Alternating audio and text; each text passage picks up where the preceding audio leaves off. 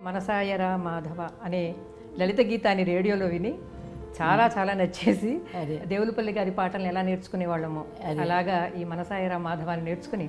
కానీ ఆ పాట ఇంచుమించు అందరి నోట అలాగే వచ్చింది. అదేమిటంటే ఆ పాట రాసి దాదాపు నలభై ఏళ్ళైందమ్మా ఇప్పటికీ రేడియోలో అది వస్తూనే ఉంటుంది. ఆ పాటకు ప్రత్యేకమైన ప్రేరణ నేపథ్యం ఏమైనా ఉన్నాయా?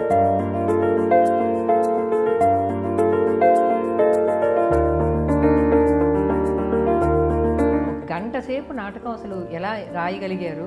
మీ నాటక రచన వ్యాసంగం అది చెప్పాలంటే మా నాన్నతో జరగడం ఆత్మార్పణ పుట్టడం జరిగింది. సమాచార శాఖలోనే మీరు చాలా డైరెక్టర్. ఆకాశవాణిలో పనిచేశారు. తర్వాత మళ్ళీ బాలభవన్ డైరెక్టర్గా చేశారు. అంటే మూడు కూడా చాలా ప్రభుత్వంలో బాధ్యతాయుతమైన నిరంతరం పని ఉండే అవును. ఇవి మీకు సాహిత్య రచనకు దోహదం చేశాయా? అవరోధం అయ్యాయా పదవులమే చేసాయని చెప్తాను. ఎందుకంటే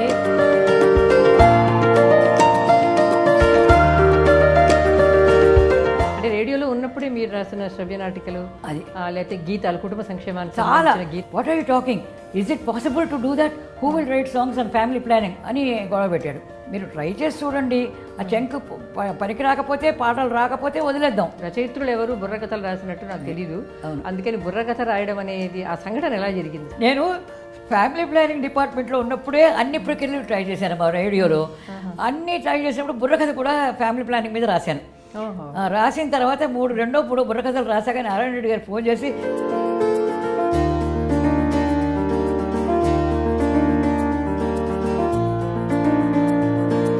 ఇట్లాగా రామారావు గారి మీద బుర్రకథ రాయాలి మీరు అన్నారు. నాకు షాక్ ఏమిటంటే సరే అంతా అయ్యాక రామారావు గారు ఒకసారి ఇటు రామ్మా అన్నారు. సరే స్టేజ్ దిగి కిందికి వెళ్ళా. ఈయన ఎందుకు పిలిచాడా? ఆయన అంటే ఏదో ఉందని. వెళ్తే బాలమురళీ కృష్ణ గారు మీ పద్యాలు పాడారు. అవునమ్మా. ఆ సంఘటన ఎట్లా జరిగింది? అది ఎలా జరిగిందంటే ఆడవాడు సినిమా పాటలు రాయరు అని రాయలేదు అన్నదాన్ని భగ్నం చేసింది మీరే. అవును. భానుమతి గారి కోసం ధ్రువ మార్కండేయులు అవును. జ్యోతిర్మయ్యి అనుకుంటాను. ఆ అమ్మాయిది ఏదో ఒక పాట వచ్చినట్టుంది సినిమాకి. వస్తే మొట్టమొదటి సినిమా పాట సినిమాకి రాసిన కవయిత్రని పేపర్లో ఆంధ్రజ్యోతి వాళ్ళు వేశారు. వేస్తే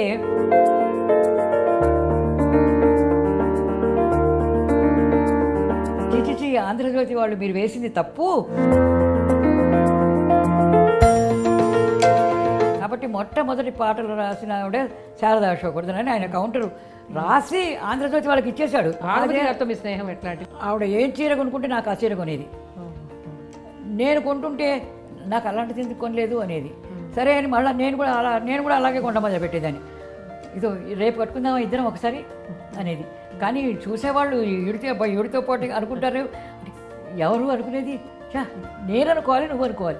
అంతేగాని ఎవరు అనుకుంటారేంటి? స్త్రీ పాత్రలను రాసేటప్పుడు స్త్రీల్లోని గుణాలని దోషాలని కూడా మీరు సమానంగా చెప్పారు. సమానంగా స్త్రీల. పక్షపాతంగా ఉన్నట్టు అనిపించదు. నాకు స్త్రీ పురుషుడు అని విభజించడం కూడా నాకు ఇష్టం ఉండదు. ఎందుకంటే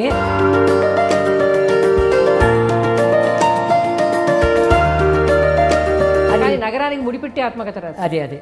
దాని గురించి చెప్పండి. అది నగరం కథ నా ఆత్మకథ రెండు కలిసినట్టు ఉంది అది ఏమిటంటే నాకు